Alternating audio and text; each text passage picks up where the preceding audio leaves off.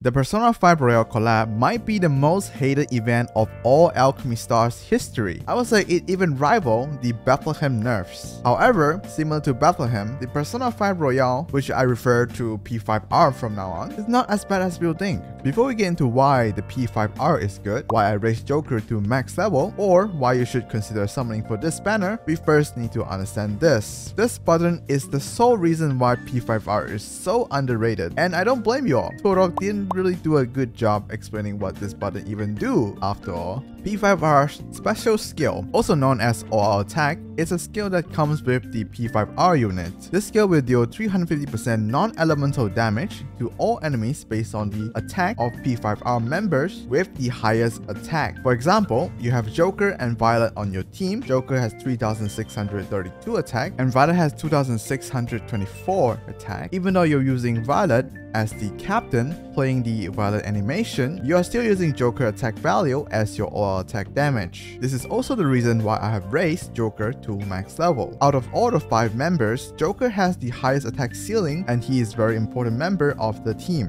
Of course, that's not all. Each P5R members have their own way of exploit weakness, which is a mechanic that boosts the damage of all attack. Each stack of exploit weakness the enemy has will increase the damage of all attack by 1%. Hence, if the enemy have 45 exploit weakness stack, your all attack will do 350% plus 45%, which is 395% damage. At 100 stack, enemy will also gain a weak status. Enemy with weak status will receive 2 times more damage from all attack. In short, 350 plus 100 and then multiply by 2, which is 900%. You might be thinking, oh, it's not too impressive actually, it's only 350% damage and sometimes 900 if the enemy is weak. That's almost like Brock damage and Brock can also aggro enemies. Well, you would be right if I haven't told you about the P5R unique multiplier. For each P5R member in your team, all attack will deal 60% more damage. I have compounded the damage of all attack with 1 to 5 P5R members as shown on the screen right now.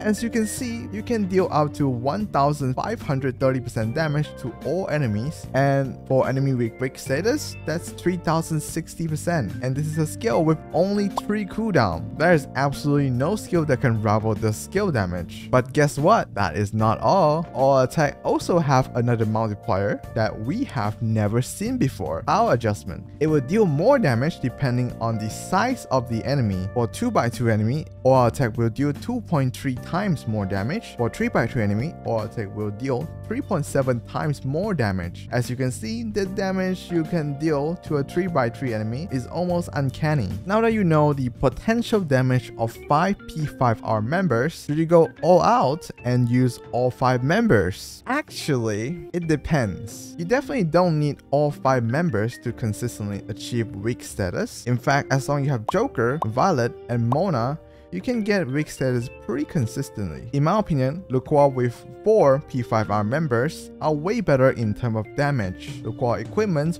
will allow her to apply Mortality Mark, which increases skill damage taken by enemy up to 70%. You can refer to the math for the damage difference. If you prefer having a healer, you can also drop one P5R member. In my opinion, Joker is mandatory, Fox and Break to Zero Queen are droppable. So I'm sure you're surprised by this number here. It definitely surprised me at least. But does this means they are OP now? Well, not really, since in order for you to have high all-out attack damage, you are sacrificing using a mono team with converters, which is still the best way to play the game currently. You can get Aurora time easily, plus, honestly the damage you get from normal attack and chain combo still exceed the numbers here. However, I think a lot of people forget that they are actually content that discourage using your classic mono team.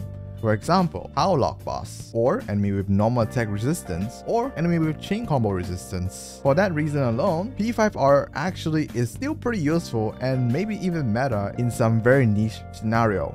So far, I have been talking about the power of using P5R members together, but what about using them in a mono team as a DPS slot? To be fair, some units are actually not bad.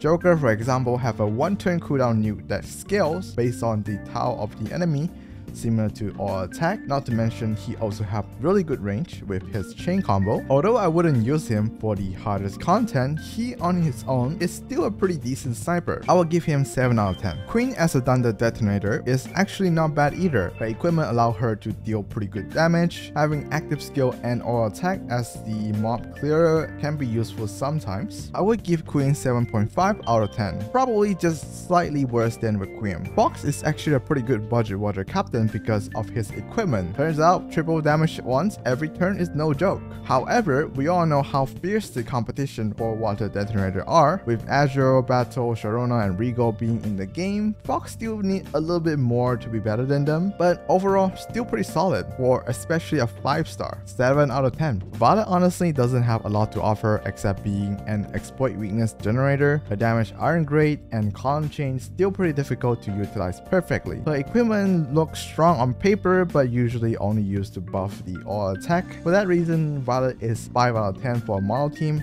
would not recommend. Mona is pretty much the same situation with Violet. He is an exploit weakness generator. Generally, they are better sniper to use, such as Paloma, Megard, or Mythos. 5.5 out of 10. Now that we explained so much, in the end, should you summon? In my opinion, if you are a big fan of Persona 5 Royal, you should probably summon regardless of what I say. If you don't know much about the series just like me, I would say this banner is still pretty good. The P5R team is an alternative playstyle that is different from your classic mono team, which utilize at least two Taos converters. We don't know what Tourdog have in plan for us in the future. They might release content in the future that bans converters, or heavily promote content that use a Rainbow element team. For what it is, P5R is actually a pretty dang good Rainbow team that actually works. And in terms of skill damage, they definitely have the higher end. I don't think any team out there can deal as much skill damage as the P5R team. And you know, when you encounter any boss such as Shelmer, which have a really high resistance to normal attack, sometimes you really just want to use a skill damage team. And although there are other alternatives such as Battle with like ability spam, I would say P5R is still really really strong and potentially can be very very OP in certain scenario where there are a lot of monsters that is immune to normal attack. I mean who knows, it's Twirtle, they can happen. If you are low on loot members, I would still probably skip this banner. Although they are good, their best use case is still niche at best. If you are a newer player, Looking to build a strong team first, small team is still what I suggest, since not only they can be used for 99% of the content, you can also use them to climb Spire, which something P5R team cannot do. And if you really want to summon, I would say the upcoming Angel banner has a lot of good 5 star you can get. I mean, pretty much every single 5 star in that banner is good. And yeah, I would probably just summon on that banner and look for a couple 5 star, especially converters. And if you're lucky, you can get Michael, which is a really, really strong Dungeon detonator. Overall, I would give this banner 8 out of 10. Definitely not as bad as people think it is, although the skill design of the characters aren't the most interesting. I'll say the delete all button definitely makes up for it. To end the video, I have a showcase of the P5R team fighting against the Elysium Battlezone Despair. This is one of the best use case for P5R team since the boss is big, it is also highly resistant to normal attack, so your normal mono team is not very effective here. So yeah, enjoy the video and I'll see you all next time. Peace.